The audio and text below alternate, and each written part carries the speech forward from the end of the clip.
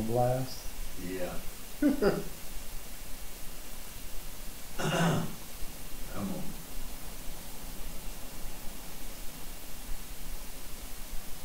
You seen what I titled this? The voice breaking all dimensions. Yeah. Are you still going back and what we talked about out there in the driveway? Is that, we, okay.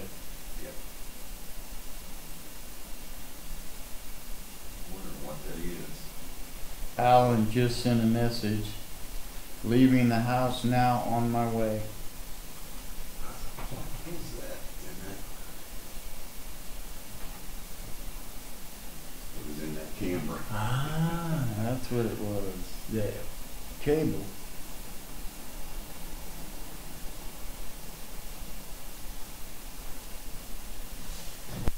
Okay, let's see.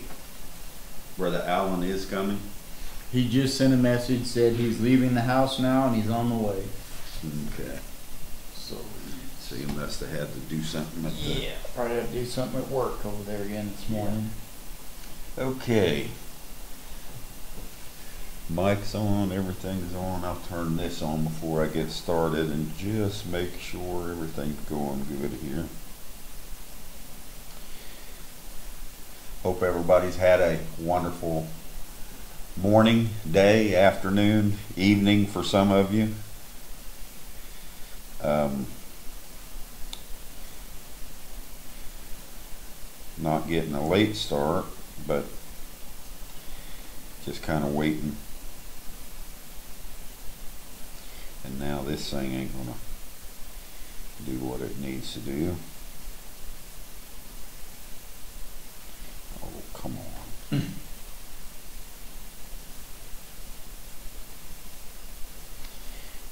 Okay. Is coming. He just sent a message, said he's leaving the house now. Good to see everyone this morning. I know you're still coming on, and that's okay. We uh, had a major storm here last night, so I've had a few things going on where I had to get this going again.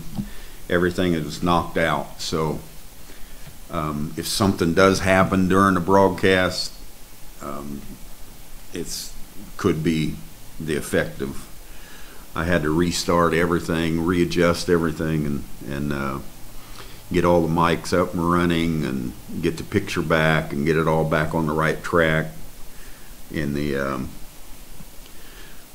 in the vMix. So, but we're we're there. That's why I'm a little bit jittery right now. I'm thinking, what did I not do right? All right. and I'm looking around at everything, but but uh, it's good to be here, and um, hopefully it's coming across for you.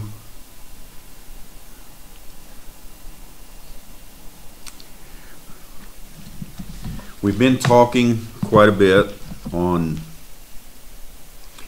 the changeover from the old regime, so to speak, of father son relationship, and it's changed over into a new relationship, a relationship that was set up all the way back in the beginning, and that was a father mother relationship, mother of all living, father, um, and on an equality basis.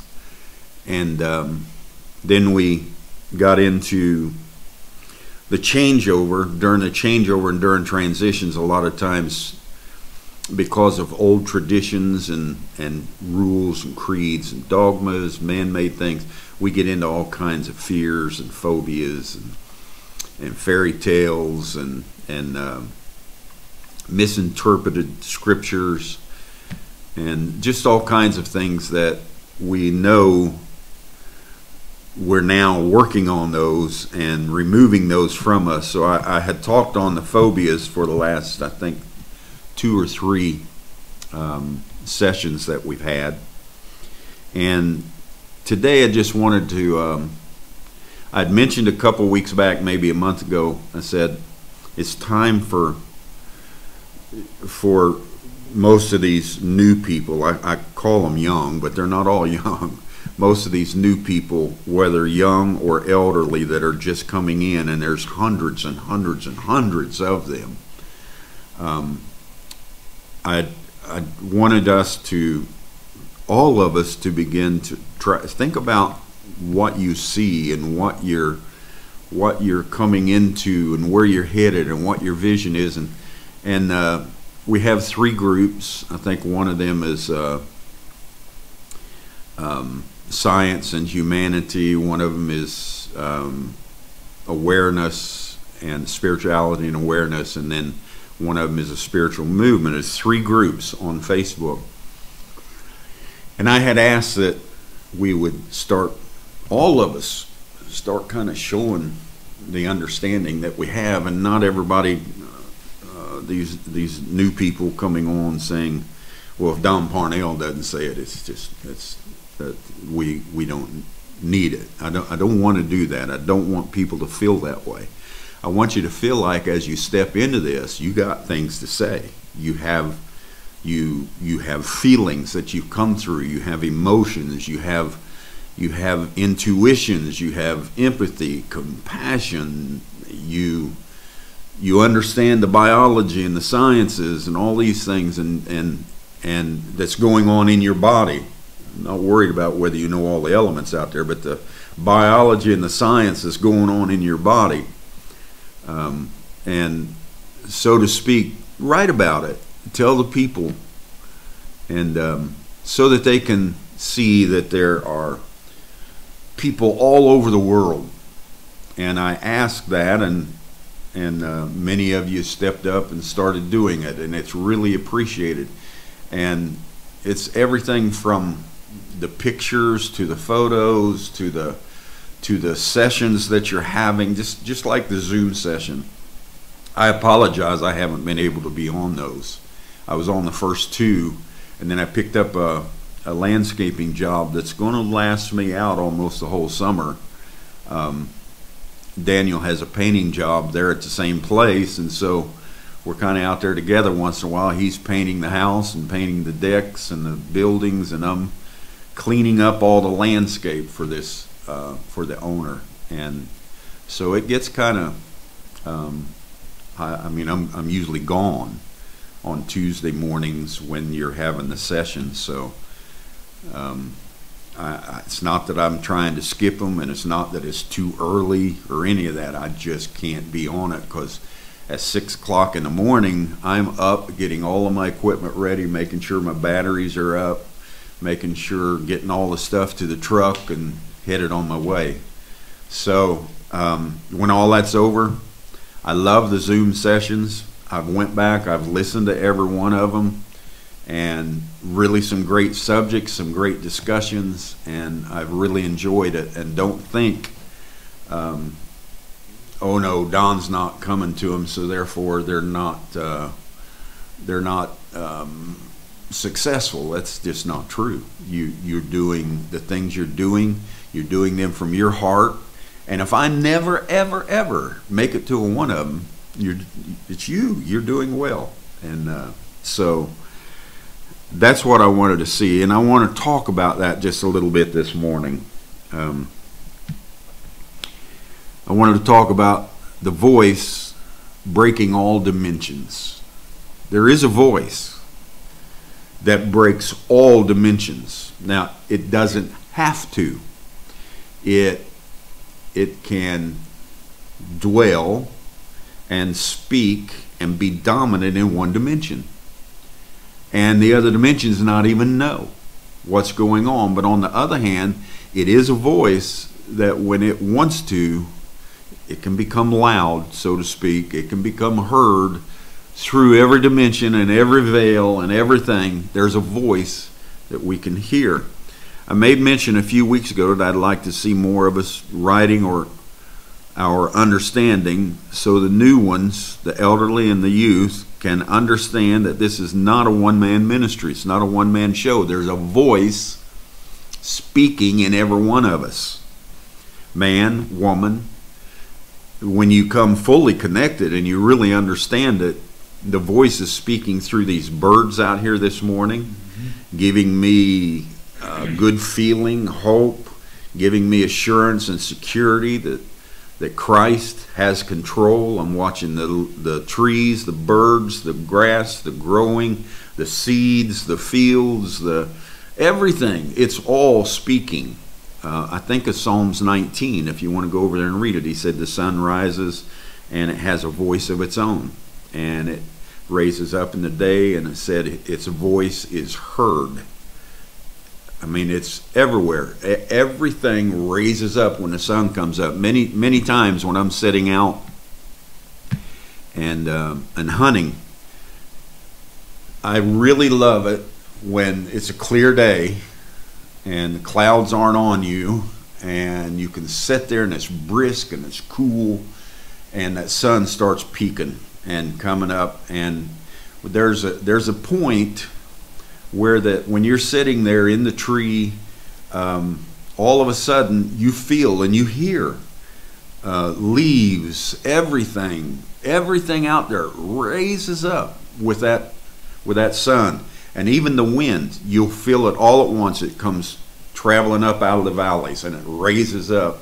Everything is praising the sun, and uh, that's exactly what happens inside us when we come to an understanding. It's not that we feel like we have to raise up or we have to wake up or we have to do this or that. That's that's not it at all. Um, the issue is we do. We feel it. We raise, and it's not a matter of trying to make ourselves do it. So, I wanted to talk about that. The Spirit now raised up many hundred men and women across the globe that are walking in this understanding and bringing it forth. And I appreciate that. And I've taken what the prophet John heard in his vision and wanted to open it up a little bit for us to understand that it's our voice. It's our voice that is breaking all dimensions and bringing to order um, a new way of life. We're the ones doing it. So, in the book of Revelations, John writes this, and it's the fifth chapter. And if any of you have studied William Branham's message at all, you know that the fifth chapter was the coming of the Lord. You know that, if you want to call it that, um, the coming that everybody was looking for, the third coming. The um, Acts, the second chapter, was the second coming. And of course, Christ in the Old Testament um, was the first coming. He come to redeem us. Jesus in a human body, walking in flesh, named Jesus on the shores of Galilee. That was his first coming, and he redeemed us through Calvary. He put his body there, redeemed the earth. And when he you know, actually, a lot of people say, well, you know, he redeemed our spirits, he redeemed our souls, he did, a, he redeemed the earth. Mm-hmm. That's what it was about. He was bringing the earth back to its proper position, cleansing it so it could be used by our spirit and soul, mm-hmm. um, and used in a in the proper manner. So then the second coming was Acts two, and that is where Jesus made the promise in St. John 14, 15, and 16, if you want to go back and read those. And there are other many other places. He made the promise that he would come again, receive us unto himself, that where he is, we can be also. And he'd done that when he went up on Calvary, gave his body, released himself from the body, and moved back into the spirit and came on the day of Pentecost and gave them an understanding. By doing all these things, we had the first and the second coming. And then the third coming was Revelations, the fifth chapter, which is, very simply said, Revelations, the tenth chapter, which is, simply said, Revelations, the 19th chapter. Um, you can just keep looking at how John wrote these cycles, and you can see where this third coming strikes throughout the scripture and throughout the book of Revelation. So, Revelations 5 and 9, we know that there was an elder, an angel that had a strong voice, and he was crying out, Who is worthy to open the book and to loose the seals thereof? Loose meaning reveal the seals thereof. So there had been seals coming down through the second coming that um, had, like Brother Branham said, had been opened, but there was still a secret remaining.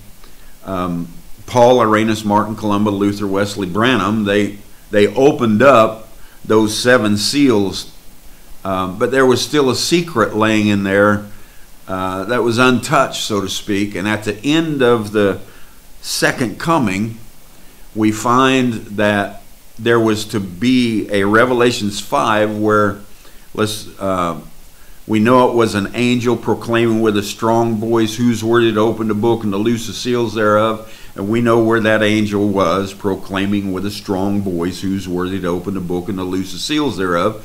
It was in the ministry of william branham standing there in jeffersonville indiana opening up those seals. Now, it wasn't William Branham that opened them, but it was Christ using his body to open those seals, the same way Christ used his own body to open up, finish the first coming and open up the second. He's using William Branham's body, but it's Christ to open up this third coming. So, the angels and the elders, the 24 elders, the Old Testament, the New Testament, they all cast their crowns. We know where this took place, Revelations 5. Revelations 3, at the end of the church ages, bang, he's caught up, and it says that. And where we're caught up to, we are caught up to Sunset Mountain, and we've seen the whole Revelations 4 is a description of what was taking place on Sunset Mountain in the spirit realm, unnoticed or unseen to the rest of the world. And then, after that took place, and the third coming took place on Sunset Mountain, then he comes back to the earth again. And we find that they were shouting, they were they were there was voices, there was thunderings, there was lightning, and it said that a bloody lamb came forth. It says uh, Revelations 5 and 9, and they sung a new song we're talking about this fifth chapter, third coming. And they sung a new song, saying, Thou art worthy to take the book and to open the seals thereof, for thou wast slain and hast redeemed us to God, listen closely, by thy blood out of every kindred and tongue and people and nation redeemed us to God by thy blood out of every tongue, kindred, and not the blood that hung on Calvary, but the blood out of every tongue and kindred and nation. It was humanity in the second coming that brought a redemption plan and brought us into the third coming. Redemption plan just being he caught us up and redeemed us or repositioned us. And he did this and thou hast made us unto our God kings and priests, and we shall reign on the earth. where Whereat, did everybody read that? Hmm. If you haven't got 5 and, and verse 10, maybe somebody ripped it out of the Bible and you don't didn't get that anymore. But it says, He has made us unto our God kings and priests, and we shall reign in heaven. Up there somewhere? No on the earth. And I beheld, and I heard the voice of many angels round about the throne. Now, you know where the throne is. The throne is in the heart of man, it's in humanity. And there were many angels round about in humanity, and the beasts and the elders, and the number of them was 10,000 times 10,000 and thousands of thousands. It's just in innumerable. And they he heard them and they were saying with a loud voice. This is the third coming. John is looking at the third coming. He's not looking at Calvary. He's looking at the third coming. And these people, if you go back and read the first eight verses of chapter 5, you will find out that these people and Christ is the same thing. That this third coming was a a lamb with seven horns, seven eyes, and seven spirits. Now, what do you think? And it said it came up, and when it came up, it had been slain. If you read that in the ninth verse, it had been slain, and it was worthy to open the book and to loose the seals thereof. And John looked, and he saw a lamb slain from the foundation of the world. He didn't see a lion, even though it was a lion that was ripping the seals open. So Christ was coming in, in a, a dual form to bring forth a redemption in the flesh and at the same time bring forth a revelation in the spirit.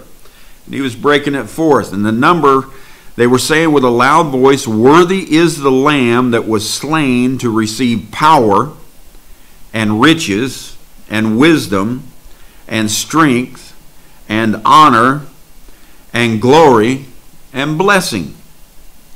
And every creature, listen, every creature which is in heaven and on the earth and under the earth, and such as are in the sea, and all that are in them, heard I saying, Blessings and honor and glory and power be unto him that sitteth upon the throne and unto the Lamb forever and ever. So John began to scream out when the third coming struck and the third heaven opened. Paul seen unlawful things that shouldn't be uh, talked about in Paul's time, and John saw hundreds and hundreds of millions and thousands of people shouting with a loud voice glory and honor and riches and wisdom and strength and blessings to you. And John said, I had a voice, and John represents us. John said, I had a voice that when I started shouting, I realized something. All, every dimension was hearing me, every single dimension, and on the earth and under the earth, and such as are in the sea, and all that are in them, heard I saying, Blessing and honor and glory and power unto him that sitteth on the throne. So there's a voice when the third coming opens, when the seals open up, and Christ has moved back into the earth and he's attributes of the third coming, there's a voice that's piercing every single dimension. I don't care if you believe there's one. I don't care if you believe there's a hundred or seven or however many dimensions you believe in. This is saying that every single one of those dimensions, people living above the earth, in the earth, below the earth, in the seas, animals, everything heard this voice and rose up. Listen, Jesus Christ opened up the book of life to all on Calvary. And he became humanity by transforming into the Spirit and reincarnating himself into all flesh. He's every one of us. Pay close attention to what the prophet said. Thy blood out of every kindred tongue and nation thousand times thousands of voices, and the voice broke every single dimension. All heard I saying. The voice is breaking everything. The voice is recasting and changing everything. It doesn't matter if it's a what we term as a good plot or a bad plot, a good plan or a bad plan, a good person or a bad person, whatever you think Hopefully, you can get off of that after a while. But whatever you think, all of it is recasting, and we are moving into a brand new uh, play, a brand new show, a brand new field. And as we move into it, let's look at Revelations, the 19th chapter. He says, And after these things, I heard a great voice of much people in heaven now, John seen him reigning in earth in the fifth chapter. In Revelations 19, John sees him reigning in heaven. And so we find out that heaven and earth are the same thing. We are together now and matched in as one, and heaven and earth are the same thing. You don't go anywhere to go to heaven, and you don't go anywhere to get into the earth. They're the same thing. We're here. And after these things, I heard a great voice as of much people in heaven saying, Hallelujah, salvation and glory and honor and power unto the Lord our God. Sounds like the same thing as Revelations 5 going on. Because Revelations 5 and Revelations 19 are the same thing. I think I got two there. Yeah. He goes on in the second verse For true and righteous are his judgments. For he hath judged the great whore, which did corrupt the earth with her fornication, and hath avenged the blood of his servants at her hand. And again they said, Hallelujah. And her smoke rose up forever and ever. Or, in other words, this great whore burned and her smoke rose for a long period of time.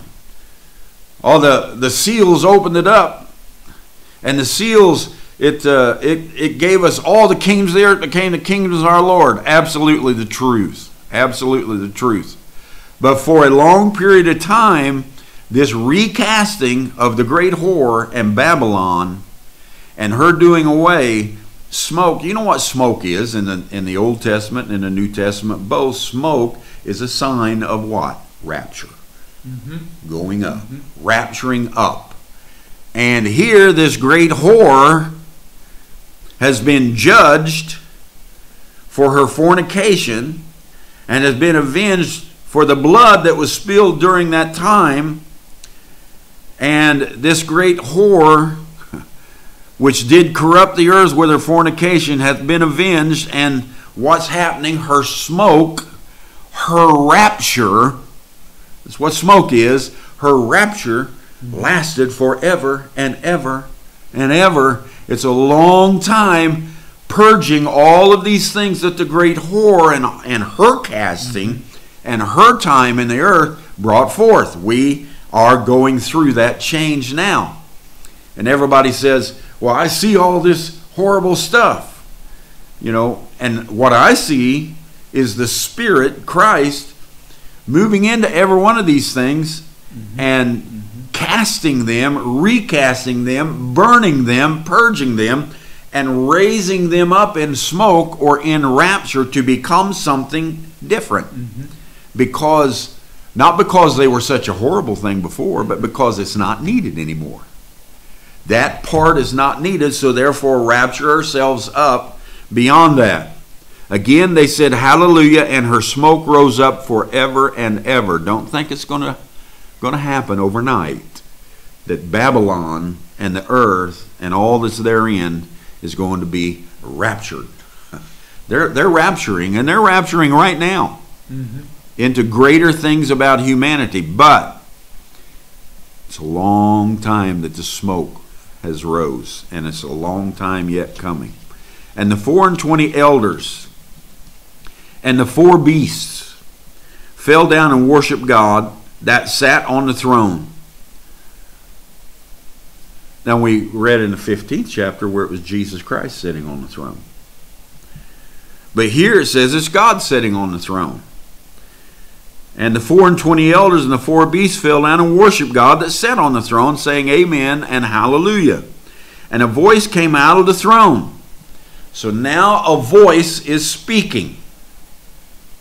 A voice came out of the throne, saying, Praise our God, all ye servants, and ye that fear him, both small and great. And I heard, as it were, the voice of a great multitude and as the voice of many waters, and as the voice of mighty thunderings, saying, Hallelujah, for the Lord God omnipotent reigneth. Now, all of this is going on as he was calling us. Now, I want to read something to you over here again. Revelations 19 and 1. And after these things I heard. Great voice of much people. And that kind of stuck with me after these things. I thought, what things? What does he mean after these things? Well, after Revelation 16, 17, and 18. Revelation 16, 17, and 18, if you just go read it, is the recasting of Babylon. It is the doing away of the great whore. It is bringing the vengeance and the judgment to cast everything differently into the earth and bring a recasting into the earth. And so we read that, and we read here where it says, And I heard as it were the voice of a great multitude, many waters, saying, Hallelujah, for the Lord God omnipotent reigneth. There's a voice here during all of this recasting, during all of this smoke rising, during all of this rapture out of Babylon. There's a voice here. And it's crying out, and it is a voice of many waters. You know what that is? It's people. And has the voice of mighty thunderings. The seven thunders have brought out a brand new day, a voice of many thunderings, saying, Hallelujah, for the Lord God omnipotent reigneth. There's no devil reigning. There's no second thing reigning somewhere. There's no rogue spirit out here. The Lord God omnipotent reigneth. He is in all things. That's what omnipotence about. Nothing is here that is not the Lord. And the voice was crying out something. This voice that shakes all dimensions. It said, let us be glad and rejoice and give honor to him, for the marriage of the Lamb is come, and his wife hath made herself ready. So the marriage came, the wife made herself ready. She moved out of the church ages, out of a courtship. She moved into marriage. She made herself ready. She became a wife and not a bride. She done all these things, and to her was granted that she should be arrayed in fine linen. She's purged, she's recast. uh, I hope I don't scare you too bad, but this great whore up here that was going through a smoky rapture, here she is. Here she is, and she is granted that she should be arrayed in fine linen, clean and white. Forgive me if this offends you, but a whore made a virgin. Mm-hmm. Recreation. Mm-hmm. And to her was granted that you she should be arrayed in fine linen, clean, white, a brand new woman, a brand new nature, a brand new day, clean and white. For the fine linen is the righteousness of the saints. That's what's coming out now. That's what we are. That's who we are. And he saith unto me, Right blessed are they which are called unto the marriage of the supper of the Lamb. And he saith unto me, These are the true sayings of God. Now listen, blessed are they which are called unto the marriage supper of the Lamb. Future home. Go read it for yourself. You don't have to take my word for it. Brother Branham said, This message is the call to the wedding supper. So here we are. We've been, Lord, that's been 50 some years ago. I hope we're done eating by now on, on that. I hope we've moved on into a brand new day, a brand new life. The harvest is over. You come through the stalk, you come through the blade, you come through the stalk, you come through the tassel, you came through the, the husk, and you come back to the harvest. And then we've been harvested. That was the harvest, the opening of those seals Okay, so now what do you do? You take what was harvested and you begin to use it. What do you do with the, the, the, harvest? You eat it. You take that harvest, you make bread out of it, you make cakes out of it, you make all sorts of things out of it. You you you take the harvest and the harvest has something special to do after it comes through the process, it starts another process. And that process is the process of Joseph, which is feeding the whole world. Mm-hmm. Joseph's voice broke every dimension. I wanted to get into that for just a moment. When he was He was when he was silent as a boy, he was having visions. He was seeing the moon and the sun and the stars bowing to him. He was seeing the stalks of the field bowing to him. He was seeing all of these things bound up and, and came bound and before him. He was seeing all of these things happening. And Joseph was taken, sold into a pit, brought into Egypt, put into Potiphar's house, and then taken from Potiphar's house into jail after being cast as an adulterer, a, a whore. He was cast as an adulterer. The wife said he did this and this and this. Then he got recast because of his visions and the vision of the Pharaoh. And he was brought to the throne, and the voice of Joseph, the Pharaoh said, Your voice will be the voice that every man listens to, and what you say goes. And Joseph began to the seven years of plenty and began to store up and store up and store up. And listen, Joseph took taxes from everyone except his family. Joseph took land from everyone except his family. He took the deeds, he took the land, he took he took the harvest, he took their children and put their children to work. He done everything. His voice, what he wanted to do, was heard throughout the land, mm-hmm. and he recast the earth. Mm-hmm. He recasted the entire earth. The earth lived off of Joseph. It's the way it lived. And we have that same voice right now. We are a voice, and the entire earth is being recast. And in so doing, the voice of Joseph is being heard throughout every single dimension. True and righteousness are these things. And a voice came out of the throne saying, Praise our God, all you servants. And I heard that were a voice of great uh, multitude. The Lord reigneth, and called us to a wedding supper.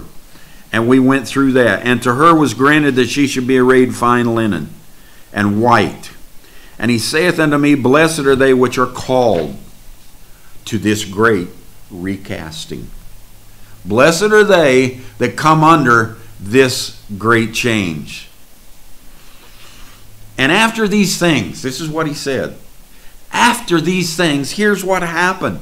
All of this great recasting from whore to virgin, from, from all of the, the blood being spilled to to, to the vengeance and the recasting of the earth, to a time where God, the omnipotent, reigneth in all the earth, to a time when the voice is heard throughout all the earth in every dimension. And after these things, after the church ages, that's what the things John was saying.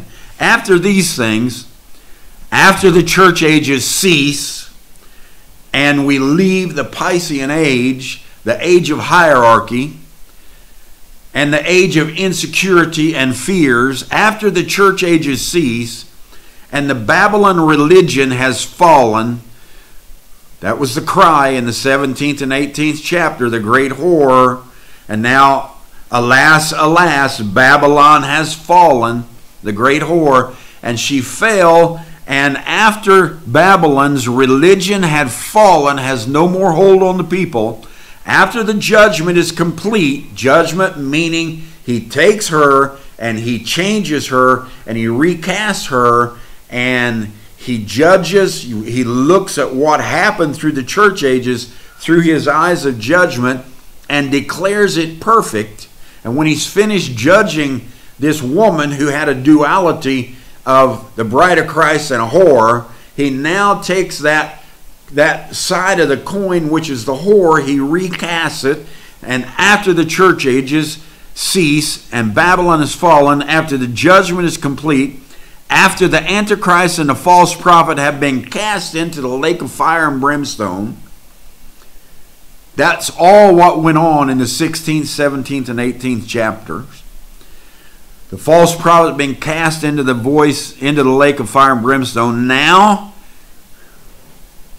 is the time of our voice. Mm-hmm. After these things, after these things, I heard the voice of many people after Babylon is judged, after the white throne judgment, after the throne turns everything white, makes everything look clean and pure and holy. After that, now is the time of our voices being heard in every dimension. John represented us. And I heard my voice crying out, and all the world above the earth, in the earth, beneath the earth, all the animals in the seas, everywhere, everywhere, they heard my voice. Jesus said, and John said in one place, they'll hear the voice and the sea will give up their dead and this will give up their everything when this voice starts screaming everything is rising up mm-hmm. the dead are coming to life mm-hmm. little fishy i give you back your life you remember that william branham standing in the boat and he gave the fish back his life he said the fish was laying upside down in the water mm-hmm. and it was dead and he pointed at it and said his guts was ripped out and he looked at it and he said, a Little fishy, I give you back your life. And the guts went back into its mouth. The fish flipped up and took off. well, that's exactly what's happening now. In this Aquarian age, there was a fish, Australia's fish, and they were upside down. Mm-hmm. And when they were upside down, the Aquarian began to pour the living waters in, and the fish came to life. Mm-hmm. That's where we're at right now.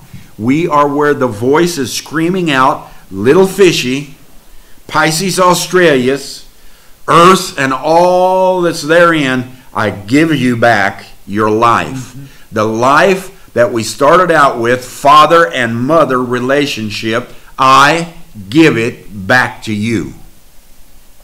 Listen to what a Tory said in the last message. This is a brother that wrote. I want to talk about some of the things these brothers and sisters are writing because it's some great stuff. And I told you I wanted to do that if you would write some things. So we see this going on. Babylon is recast. The Antichrist, the false prophet, and all are cast into the lake of fire and brimstone smoke is rising, and that's what we're seeing. Mm-hmm. We're we're we're looking at what we think is a is a terrible disaster, just a refusable thing, and it's not. The smoke from all of this is smoke is a rapture. Babylon is being restructured, refit, raptured, brought into a new cast. Listen to what a Tory said in the latest message. The sonship end is giving and surrendering to a new day, to a day wherein all shall hear. And we said that in the last message. Mm-hmm. So, Brother Isidro makes this comment, and I loved it. I, I, I would love to see all, and there are so many of us now, but I'd love to see so many that are writing these things of their understanding because yes, I may sit there and I may say thank you, that was great, or thank or, or write a little bit afterwards or whatever, and somebody else may do the same. And you think to yourself, well, they already knew that. That may be true for thousands upon thousands and thousands of us. We may already know it. But there are thousands upon thousands and thousands that are new people coming in, and what you are writing means everything to them because they don't yet know these things. So we see this. And Isidro, he says, How can all hear? He said they'll hear. And I read to you where all heard the voice traveling through every single dimension above heaven, in heaven, in, or above earth, in, in the earth, below the earth, in the sea. Everything heard my voice screaming out. How can all hear? Listen to him. He says, because it's one dimension now, which is true in a sense. It, uh, it has the, the dimensional walls are breaking down. While Babylon is being recast, Babylon was a city of walls. I forget how many, I read one time where Babylon had like 13 or 14 sections, and it was all walls, and you go into certain sections where the poor lived, you go into certain sections where the rich lived, you go into certain sections where their kings and all the royal family lived. And Babylon was a was a, a, a city of walls. And he says, but now it's become one dimension. This is Isidro. He says it's become one dimension, and, and I can agree with that. Yes, there are still dimensions all over the place out here, but this voice has transformed it into one because mm-hmm. it's traveling through all of them. Mm-hmm. And so we see because it's one dimension now, no more separation. Ephesians 1 and verse 10. It's a time wherein heaven and earth and all of us are brought together under this voice. It's Psalms 19. All of us hear the voice of life raising up. How can all hear? Because one dimension, it's one dimension now. No more separation. No more locality. That's true. This is the unknown. This is the eternal now.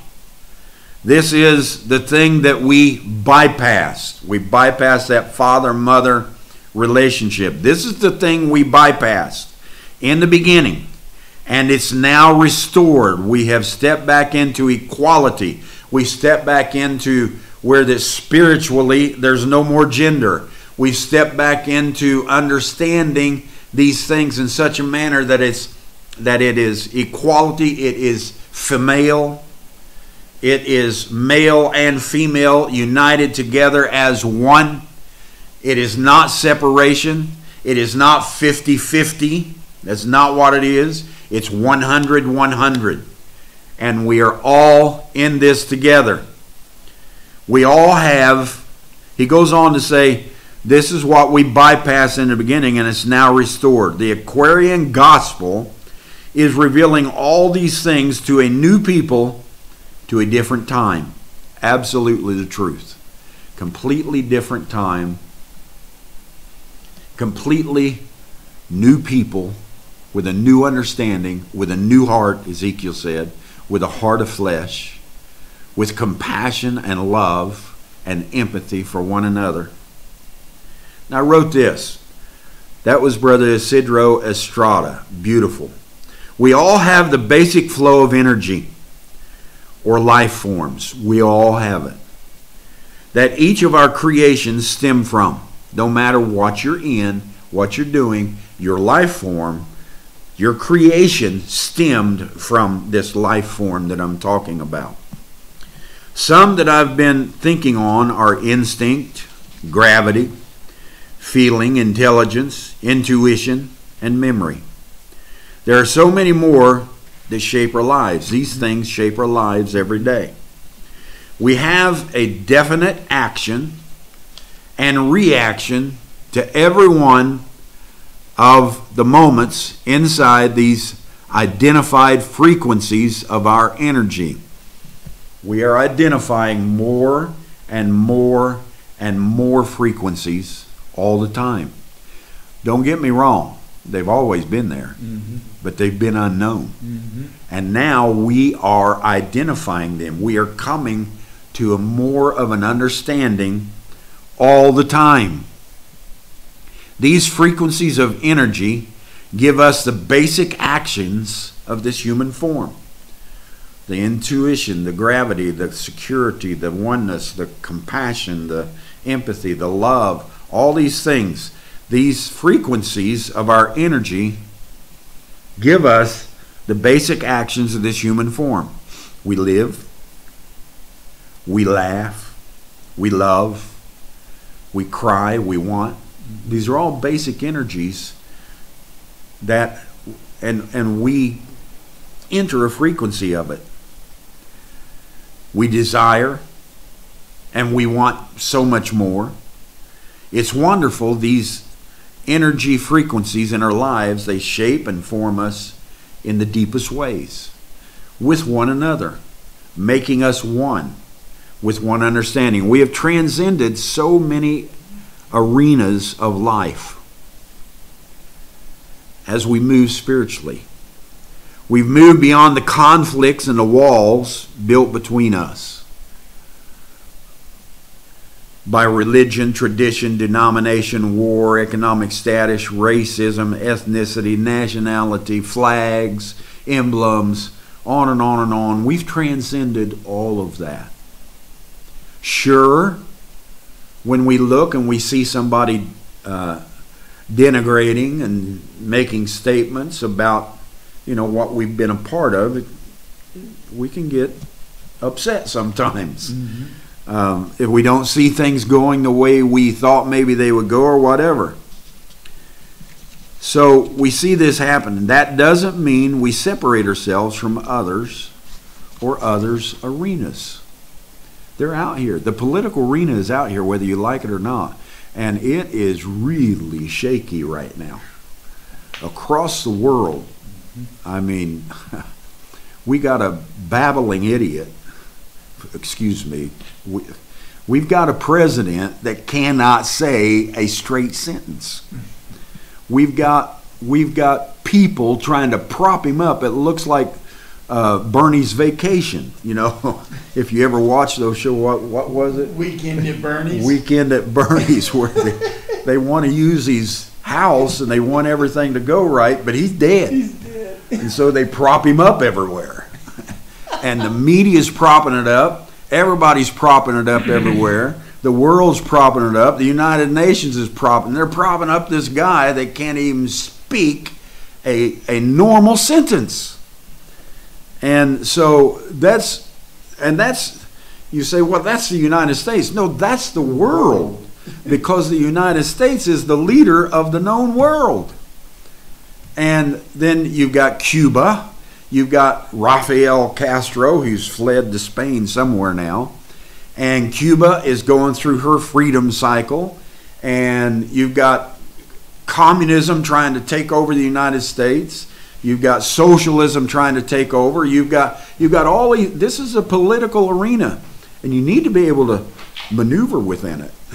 you need to be able to. You've got economic arena. You need to be able to maneuver in this economic arena. And I would tell you that if somebody don't get this this uh, present administration. Um, somebody running it or out of the way, whichever, is only going to get worse and worse and worse. And the economics is already, just look at it. Now, you should be able to live in these arenas because of your revelation and your understanding. You should be able to live inside these arenas and maneuver about them and speak your opinions freely and do all these things. And, but understand that these arenas the reason they're changing the economics and the and the political and the military changing uh, unbelievable across the world. And and law and order and, and on and on and on. While these things are going through all of this what we would think is chaos it's babylon falling. And the smoke is rising up or babylon is being raptured up into a different recast. And we need to be able to stand in these arenas. When this is going on, we see religion, tradition, denomination, war, economic status, racism, ethnicity, nationality, chaos, destruction. We're watching it. That doesn't mean we separate ourselves from others or from all these arenas. Well, I just ain't going to say nothing about politics. I'm going to separate myself. Well, I'm not going to. I, I, I'm not going to I'm just not going to be a partaker of any of their any of their economics. I don't care if it's socialism, capitalism, communism, whatever. Yeah, you go ahead and try that if you think you can. You can't do it. You are going to live in it. This is our arena. This is our day. Now, we are in a spiritual arena that has moved us and transcended us above these things, but it doesn't mean that you don't walk around in it. Jesus himself in a human body understood exactly what was going on all around him, but he stayed within the arena and he worked with the people in that arena. So we see ourselves, we enter them. That doesn't mean we separate ourselves from others in their arenas. We enter them with a glad heart, knowing that we can contribute to a lasting effort to change those things needing attention. We know our voice. Joseph, we don't have enough uh, money economically to do what you're saying. So Joseph's voice said, okay, sign over your deeds, sign over this, sign over that, uh, pay more taxes. And Joseph just kept taking it in while he was loading up all of the, the bins and the harvest and everything else. He was he was doing it at a point to where he even took the people of Egypt in as slaves. They signed their lives over to the government. You wonder why everything's going on the way it is out here. The Joseph ministry is out here. So we see this happening. You should be able to step into these arenas of others, such as politics, religion, economics, military, and understand their battle trying to come to peace. That's, that's all it is. They're trying to come to peace. And there's a handful of people out here that, in their greed, they don't want peace. And it's only, like we've often said, it's only about 2% of the world. 98% of the world wants a, a, a lasting peace and enjoyment and comfort and live long and prospered. 98% of the world wants that. And then you get a few that don't want it.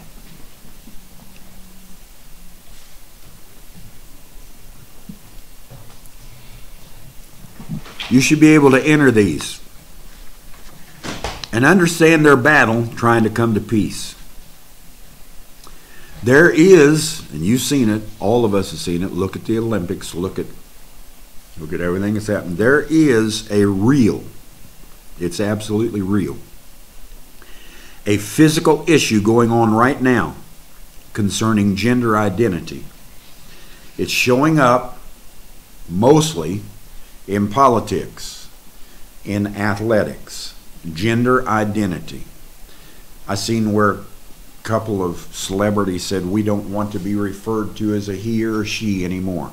We want to be referred to as they and them. Well, you're just one person, whether you know it or not. And you're not a they and a them. You are a he or a she. Mm-hmm.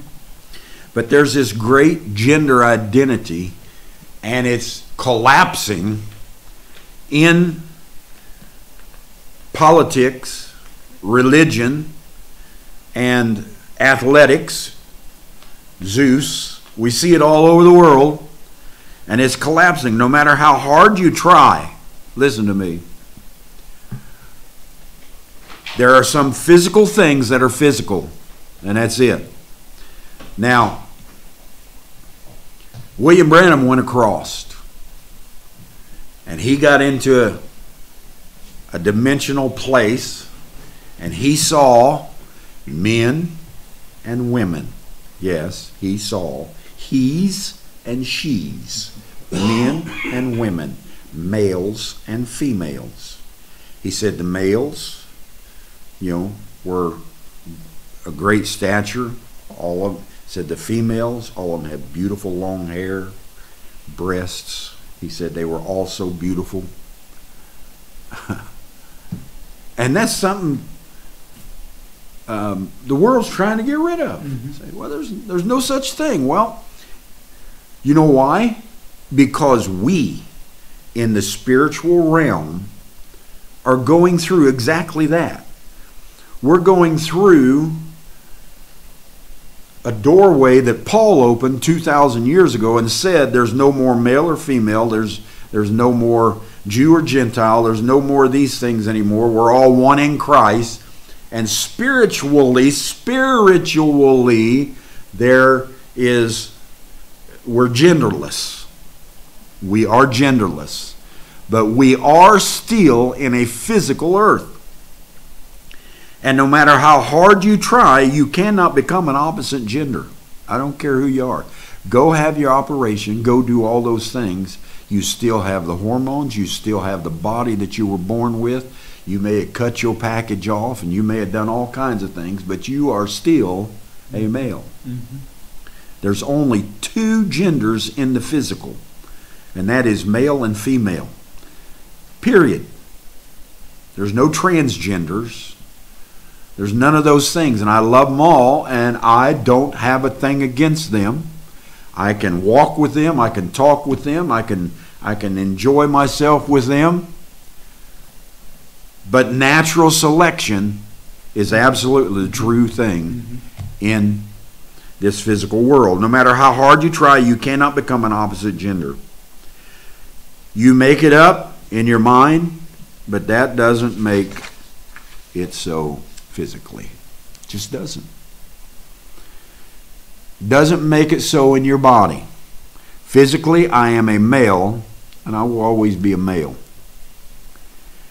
Even those seen by the prophets and others, dimensionally, living in other dimensions, are still physically male and female. When other prophets looked to the other side, there were males and females. So let's not try to bring into this physical world which we are going to live in, let's not try to bring in things that absolutely are against the move of nature and the spirit of nature and the spirit of natural selection. Don't don't try to do it. And if somebody else tries it, don't don't belittle them. Don't don't make them feel like they're outcast and and you can't deal with them and they've blasphemed and they've done this and that. don't make them feel that way. Love them. But here we are in this world where that they're getting the spiritual and the physical mm. Because we are going through a real spiritual time when the message folk are saying women can't do this and women can't do that and women shouldn't speak up and women shouldn't be in them, blah, blah, blah, blah. And men married twice and, and, and just on and on and on and on and on. Just don't worry about it. Stop it. We're in another day spiritually and physically, we will be who we are. Even those seen by the prophets, physically, that will always be. In our spirit, we have both attributes spiritually, male and female. But in our physical bodies, we continue the male female gender. So don't say, well, Brother Parnell is just fine with that. No, I can love I can have gravity, I can have intuition, I can deal with it, I can I can live in that arena, but I can't be that. There are not more than two genders in society or in nature. As I said, I have always understood best in my life by following natural selection. And here again, natural selection is best. It's the best way to solve the issue at hand in their world arena. Every time I get around them, if there's any talk, and there's many of them that I know, if there's any talk, they talk their transgender, and I talk natural selection. I can't go there. The earth, the physical, the nature, everything is set up on natural selection. And producing and reproducing doesn't happen in your field. And therefore, I, I can't be a part of that because it's all about reproducing, producing, and replenishing, and you can't do that. So here we are. I change daily. This is one of the brothers, I believe it's Felix. I love what he says here. There are not more than two genders in society. I'm sorry. I changed daily since the day I became flesh, Brother Felix, Marion. Grave, womb, temple is a place of change. Death, hell, and the grave. It's a place of change. Grave, womb, temple is a place of change, death, and growth, resurrection. There is a fire taking us through these circles Always. We're always cycling through these circles. You can put your identities to them, you can put the names to them, you can say what you came through, you can name it, you can you can call it whatever. But what you're doing is you're going through death, hell, and the grave. You're changing.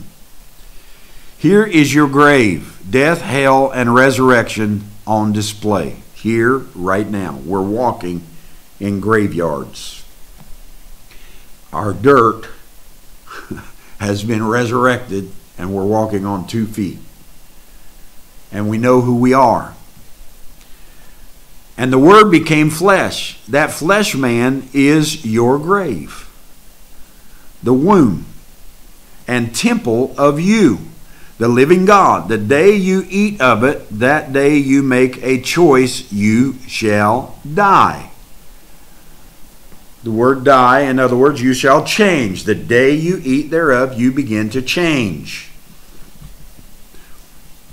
The day you eat of it, the day you make a choice, you shall die. You shall change.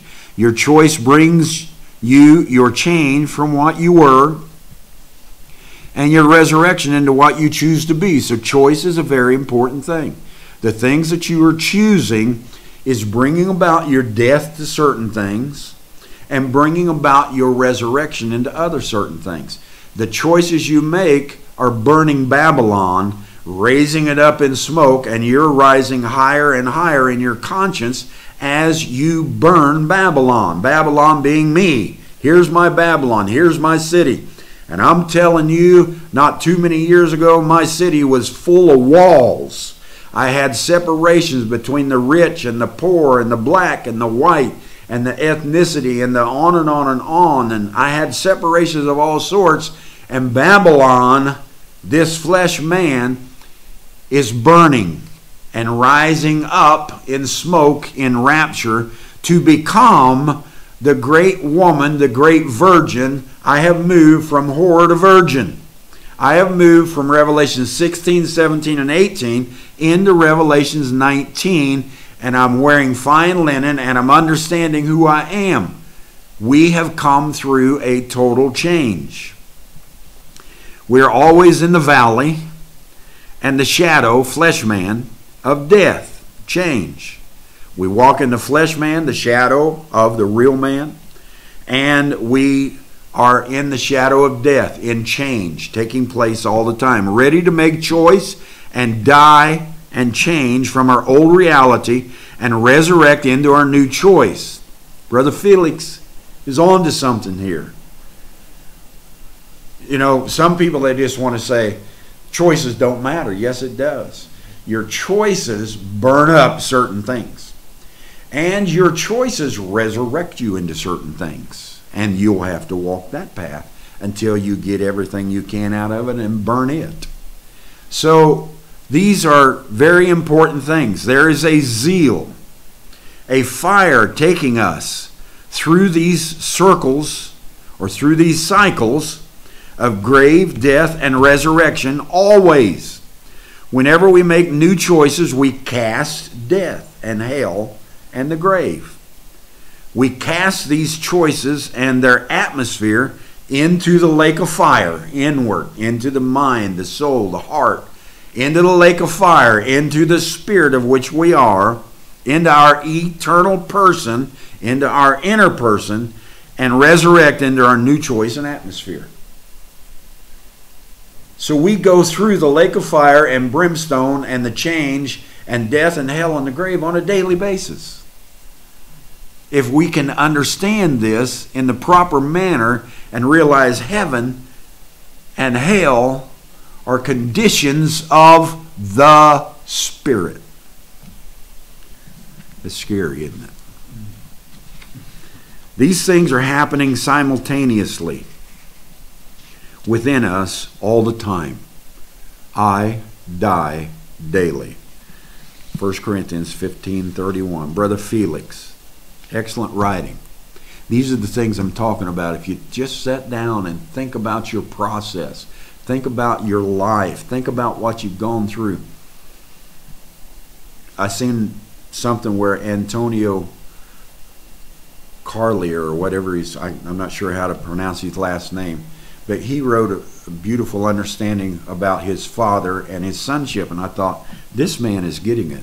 This man understands. He went on to say this, Brother Felix. If ye then, being evil, whether you like it or not. Jesus said, You being evil.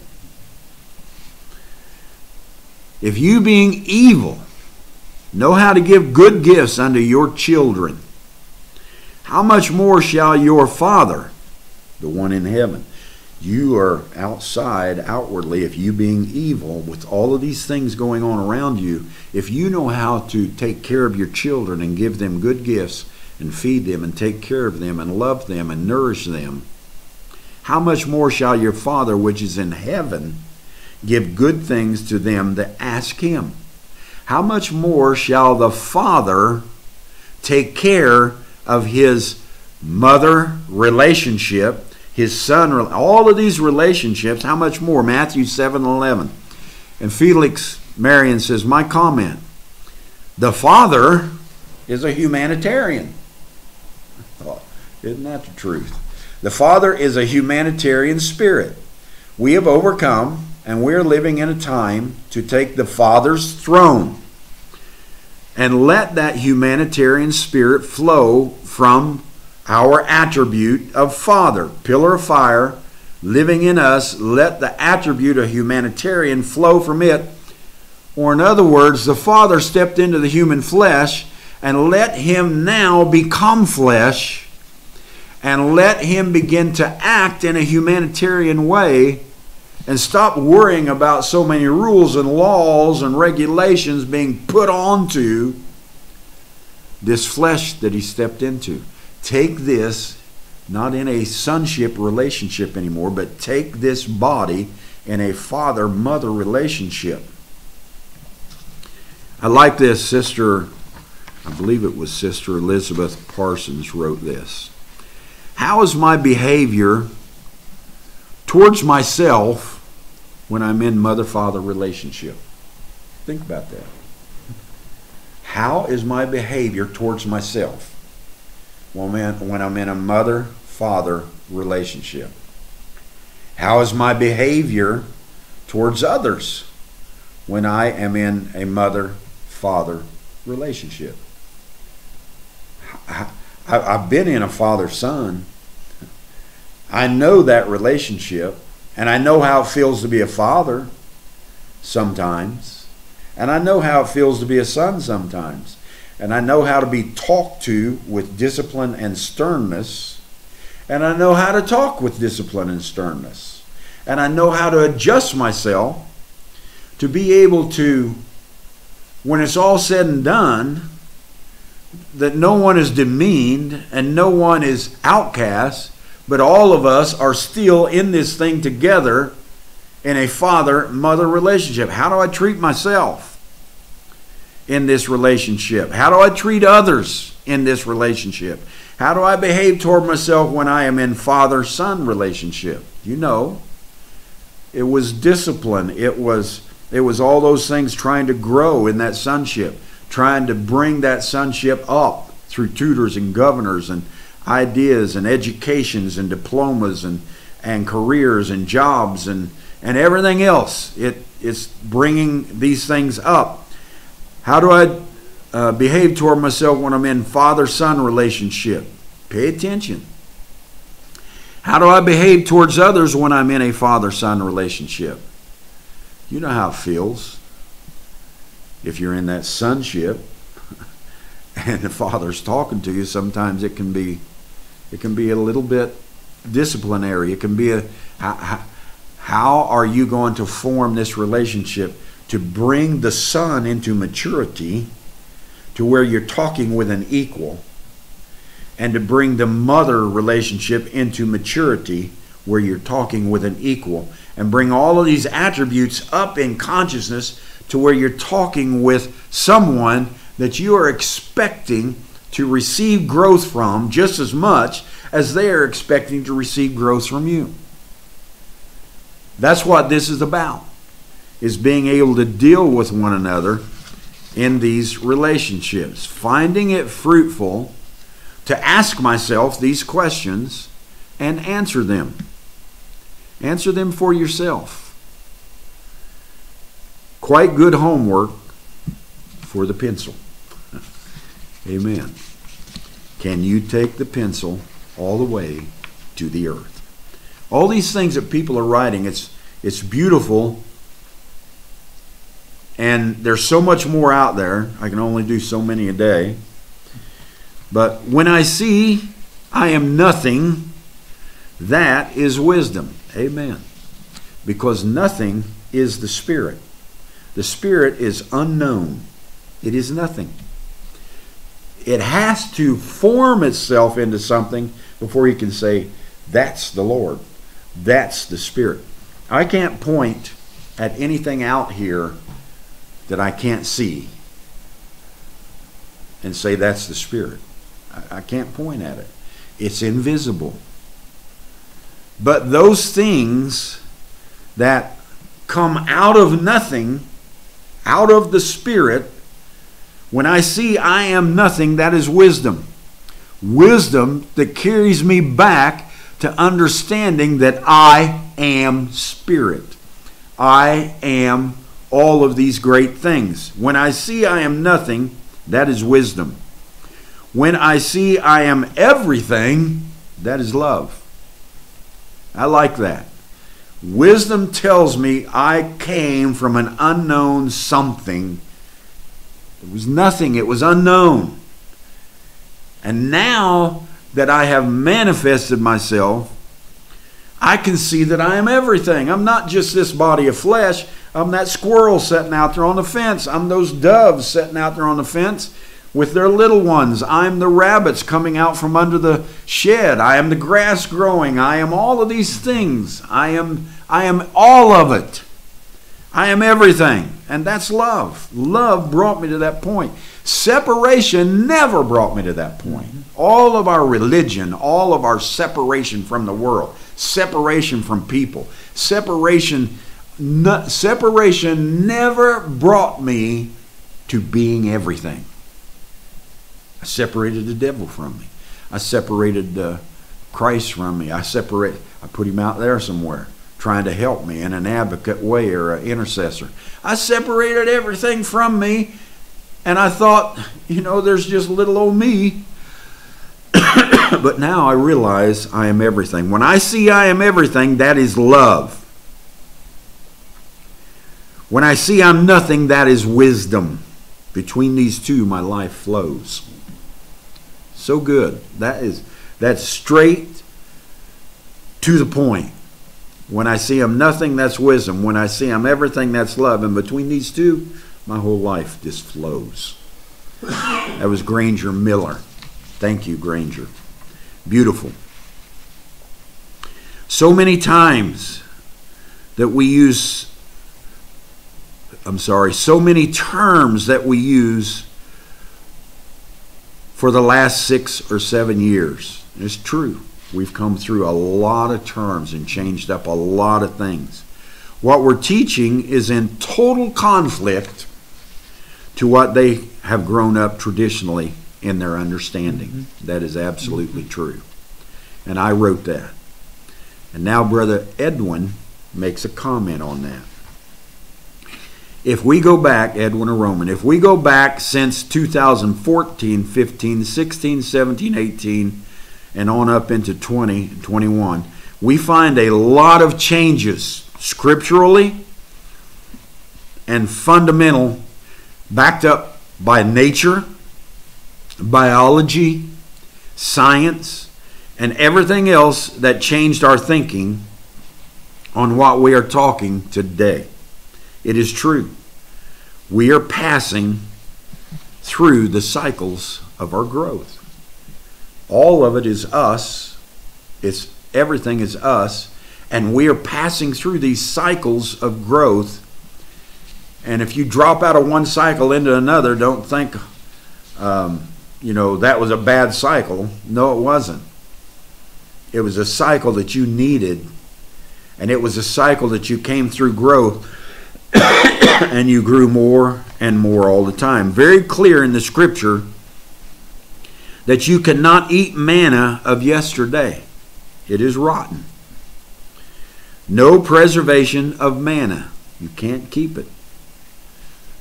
As Paul told us, he tears it down, the old writing, and regarded it not This is what Paul said. It's closed. I don't require it. He said, Everything that I learned, I counted it as dung. You know what that is? I hope all of us know what dung is. There's piles of it you can step in out here in places if you're not careful. but he says, I have taken these old writings, regarded it not. It's closed. The same thing is in the new. As William told the zeal, Christ closes the New Testament. William Branham said that. He that is in you. He closes the New Testament and opens up a new way. He said that. The seals. Listen, he said that the Laodicean church age came to total darkness. You know what total darkness is? Complete unknown. And then he said that the seals opened up a new day. It is the rising of the sun. Shalom. The sun has risen. It's brought us a new day. And he said the sun won't raise again when he was talking about Abraham and, and Sodom and Gomorrah.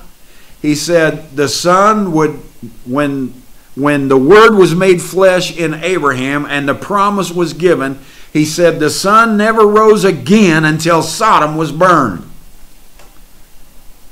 Okay. So now we see Sodom has been burned because a prophet stood up on the mountain and said, It is the rising of the sun. So Sodom and Gomorrah have been recast. There's no Sodom and Gomorrah out here. You're just seeing the smoke mm-hmm. rising as we're moving into a higher consciousness. that was Brother Edwin. Brother Isidro again. I really like this. I love these little things that, that people are putting out. I'm wondering when I read a little from a neuroscientist, when he asked a question, a neuroscientist asked a question, what happens after the explosion? Order or disorder? Neuroscience says, what happens after the great explosion? Order or disorder? It's a good question. And it struck me because I know there was a big explosion that happened in 2014, and there was a huge explosion. And out of that explosion, there was so much order that transpired. They think it was chaos, but it was the beginning of a higher order. The great intelligence is organizing its energy and matter into form and unifying all the forces of nature, bringing it all to one. As we see it happening all around us to create such a masterpiece. So, based on what we came through, based on our very own experiences, what happens after the explosion? Order sets in. A new world order. The political scene is trying to do it. They don't know how yet. The religious scene is trying to do it. They don't know how yet. They're wrestling through New World Order after the great explosions.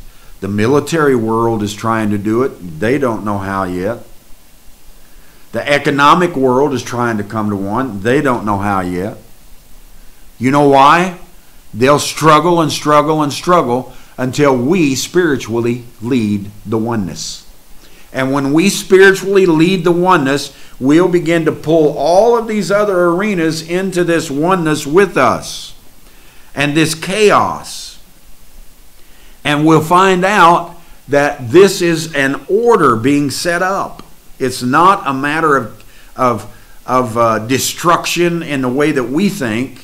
It's the future home that William Branham talked about it's a destruction, but it is a changing, it is a recasting, it is a bringing us into a new world order. And we are doing that spiritually now, bringing ourselves into a new world order and becoming one. And we are watching the rest of the arenas and the rest of the world and the rest of the frequencies and everything else trying to move with the flow of what we are doing spiritually. And from 2014 till now in 2021, I've seen nothing but new world order coming into existence. It's happening all around us. Jesus said, You cannot sew an old garment with a new piece of cloth. This is Brother Antonio, I believe. Yes. And he sent me this and he said, Brother Parnell, can I show you this? I'm dealing with some brothers. And, and, and I, I thought it was just beautiful. He said, Jesus said, You cannot sew an old garment with a new piece of cloth. You can't. It'll just rip. And the new heaven and earth cannot fit into an old way of thinking. Absolutely true. You cannot bring all that old way of thinking over here into the new. There's a voice now, and that voice is breaking every dimension and is clearing out all of the old thinking. All the problems that the Pharisees gave the people in the time of Jesus, I love this. All the problems that the Pharisees gave the people in the time of Jesus could not be repaired by Jesus. He couldn't repair it. It it had Israel it had Israel so misinterpreted they were they were sacrificing children. They were mixing the Babylonian religion with the old Jewish laws. They were they were killing one another. They were they were so much going on, and all the five thousand some odd laws that Moses had set up down through. He couldn't do anything with them. The problems that the Pharisees gave the people in the time of Jesus could not be repaired by Jesus. So, what did he do? He tore up the old garment of the law. He began to rip up all the ordinances. He began to throw them away. He began to cast them into the fire and remold them and remake them. The old garment of law, he threw it away. He recast it. He said, New wine can't be put in old wineskins. Strong wine can be stored in new wineskins. So I'm building a new kingdom. And I am bringing a new structure. John, in the Lord's day, said, I saw the old heaven pass away. So he saw what Jesus did. And a new one come into being. The old heaven of the law, which worked in the nation of Israel, passed away with the life of Jesus Christ. So the first heaven, the Old Testament, was gone. It was done. It was ripped up. Moses and all of his laws and everything else was cast into the lake of fire and brimstone and recast and made new. Under Jesus, the second heaven opened up. This lasted for 2,000 years, and you know that. We talked about it from Acts 2 all the way out to Sunset Mountain. And in the coming of Brother Branham at the end of the church ages, he brought the second heaven to a close, and he said he did. Time was no more. Revelations 5 is Revelations 10 is Revelations 19. Revelations 5 was Christ revealing the blood of every kindred, tongue, and nation, and how it was a bloody lamb walking down through the ages and had redeemed itself in the second coming. Revelations 5 and Revelations 10 took that understanding and revealed it and opened it up. And the seventh angel sounded, and when he sounded, all the kingdoms of the world became the kingdoms of our Lord. And he opened the book, and then he came to where it was a time to eat the book, and it wasn't his place. Did you know that Brother Branham, you just go search it for yourself. Did you know you'll never find where he talked about Revelations 10 8 through 11? Mm-hmm. Not one time. Not one time. because he stopped at Revelations 10:7. He knew that was his scripture. Mm-hmm. He knew that was the end of the church ages and it was his place to reveal those seals and open up a new day and the new day is take and eat this book and become the book, become the whole thing. I heard a voice saying, Take and eat, Ezekiel. I heard a voice saying, Take and eat, John. I heard a voice saying, Take and eat, William Branham. I hear a voice today saying, I have eaten, and I hear it is breaking every dimension, and I am understanding who I am more so than I ever have. Under Jesus, the second heaven opened us, opened up this last, this late, lasted for 2,000 years. He brought the second heaven to a close. Time was no more. Seven thunders broke the seals or revealed the seven mysteries hidden in the seals. Paul had a great vision. Actually, he, like Brother Branham, did not know if it was real or a vision, and he tells us that. And he said that he saw what was happening in the third heaven. And the things that he saw, which is where we just broke into, the things that he saw were not even lawful to be spoke of. Let me tell you this. If you think that where you've come to, you will have ease talking to the message people with it, I've been thrown off of forum after forum after forum, William Branham messages, Pentecostal messages, um, all all sorts of forums. I have been cast out. I have been called an idolizer. I have been everything under the sun, and it doesn't bother me a bit because I know where I stand at, and I know the things that I'm speaking are third heaven, and they are not in the third heaven as of yet. They're not here. They're in a political arena idolizing William Branham and all the seven messengers. It's, it, it's not a church arena anymore. It's a religious, political arena, is what it is. The Spirit is not leading and guiding all of that. He's burning it, and it's just smoke rising. And all of these people will be, sooner or later, a part of the smoke rising. So we see this. He said it wasn't even lawful to repeat what went on in the third heaven. If Paul had to speak of things he saw in the third heaven, he would have been considered going out of the law because he said that it was not lawful to utter such things. Jesus never spoke it. Paul never spoke it. Brother Branham said it was the sword of the king. In the experience he had in Sabino Canyon, he said that he was afraid of that sword and it fell into his hand and it fit perfectly. That's what he said.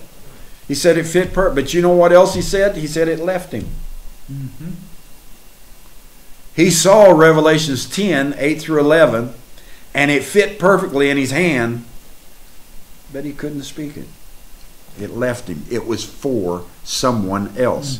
This great word, this great sword that would go throughout the world and pierce asunder every dimension and everything would hear it. It was for another day. He and Sabino Canyon, he said that he was afraid of the sword that fell in his hand and it then left him. He called it the third pull. He knew about the first two, but the third one he seen, and it was in a language that he did not understand and could not make it out. That's what he said. He said it come by him. It was a language he heard. He and, and he said it was in an unknown tongue. Huh. William Branham looked into the unknown and said, "That's out there mm-hmm. to a place where it's going to be after me, and it's not my place to talk about it." Mm-hmm. That's really what he was telling you. It's not my place to talk about those things. It is coming. And now we are in the unknown. Yes. Yes. So we see this. The first coming was to the Old Testament saints in the theophany bodies. The Spirit moving in a theophany body through the prophets, through Melchizedek, leading and guiding. So we see that. That was the first coming, and it was to redeem. The second coming was to the New Testament saints in bodies of messengers Paul, Irenaeus, Martin, Columba, Luther, Wesley, and Branham, and it was to catch the people up out of the old first coming. And it did it. And then, but the mysterious part was the third coming. William Branham never talked about it. Jesus never talked about it. Paul never talked about it. But when you go into their writings now, you see it all through it. So we see this. Now, the mysterious part was the third coming. Look at the pattern of the tabernacle. This is Brother Antonio still talking, and it's a beautiful revelation. Holy of holies, an invisible God. Most holy place, God in the priests, in and out of their experiences. The priesthood in the in the second realm of the tabernacle was the Christ. The pillar of fire was the Christ in the third heaven. The priesthood was the Christ in the second heaven. And in the this outer court, the court of the whole nation, where the blood was sprinkled and forgiveness given to the whole nation, first heaven, prophets, pillar of fire. Second heaven, priests. We see it. Third heaven, kings or the people. Is that why the sword of the king fell into Brother Branham's hand? It was not the sword of a priest. It was not the sword of a prophet. It was the sword of a king. Mm-hmm. We're in the outer court now. The inner court has been broken down. The second heaven has been broken down. We're in the third heaven. And right here it is, right in front of you.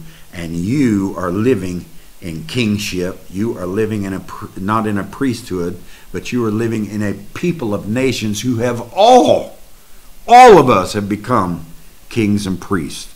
What does a king bring? Sustenance and security to the world or to the kingdom. And a king has all sorts of people in his kingdom, and they walk about in love understanding one another. First heaven saw, first heaven, law of the Father. Second heaven, grace of the Son. Third heaven, the Holy Spirit. The water and blood is from the mother and is done away with at the birth of the new age. That's exactly right. The water, the water and the blood brought a sonship. And then the the water and the blood is done away with, or we move out of sonship and come back to a father mother relationship. They don't depend on the water and the blood anymore because they are filled with a life of their own. This is the third pull. This is Adam with the title deed, and we are the God of the world. I like that. Now, listen to me. This is a brother that is just breaking into these things, and he's he's picking it up right away. He can help you, and you can help him as he's coming through these things. He wrote that to a massive group of brethren in the Third Testament.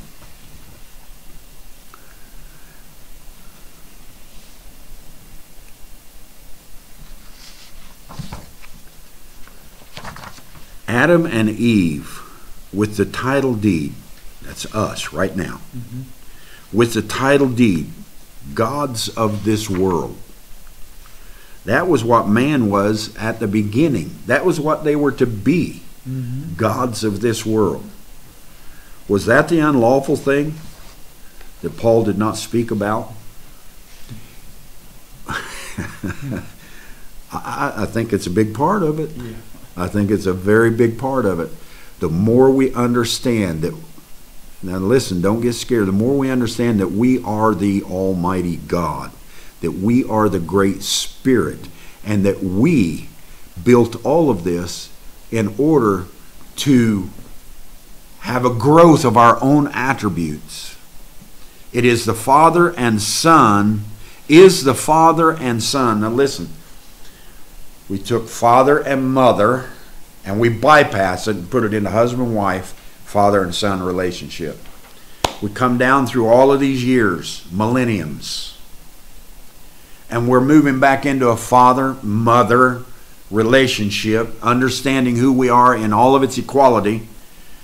Is the father and son, or could I say, was the father and son just a process in the expression? Father and mother, and father and son, husband wife, are just attribute expressions mm-hmm. of what we've now come to mm-hmm. a father mother relationship. Did all of those processes of sonship, was that so we would articulate and pinpoint and understand exactly the beauty of a father mother relationship walking in the earth together? Mm-hmm. Yes, I believe so. Mm-hmm. I believe we have come through a major, major process. And a voice is now breaking down every dimension, every wall, everything. Babylon, Babylon, alas, Babylon has fallen, and the great whore has been avenged, and she has been cast into the lake of fire with all of her false prophets and everything else, and the smoke is rising. And we're watching it, and the smoke is a rapture. It is rising up, it is happening all around us. If there's anything anybody These, uh, I, I noticed these natural, these attribute processes. As we've gone through them and we're unfolding, one thing they all point back to, natural selection. Every symbolism, every view, every perspective, everything it does and is about all points back to one thing, natural selection. Why? Because in bringing these out, there will be people who choose to go opposite of that. That small minority. Why? They're the contrast. They got to bring that out. But it, all that does in exposing that is just shows the purity and the realism of natural selection. That's right. Brother Branham said it many times. It takes a bad woman to stand her up next to a good woman in order for us to be able to understand what a good thing looks like. Yeah. That's what we had going. Yeah. And this this bride that started out as a good woman in Acts 2 became a whore down through the church ages, left her first love, took on Satan, let him sit in her seat, let the processes take her over, and she became a whore. And in the end, she is cast into the lake of fire and brimstone, and all of her prophecies and all of her quotes and everything comes right back around, and she is the perfect little fine linen virgin mm-hmm. standing in Revelations 19, going headed right straight into a new heaven and a new earth. Mm-hmm. Same woman, all the way through. And where in that process it showed Eve losing all and failing all, it shows the other end of it when you get into Revelation, where she never failed one time, she gained everything. She in other words, it came back around and she was able to recast herself and regain everything that she was meant to be. Yes. Amen.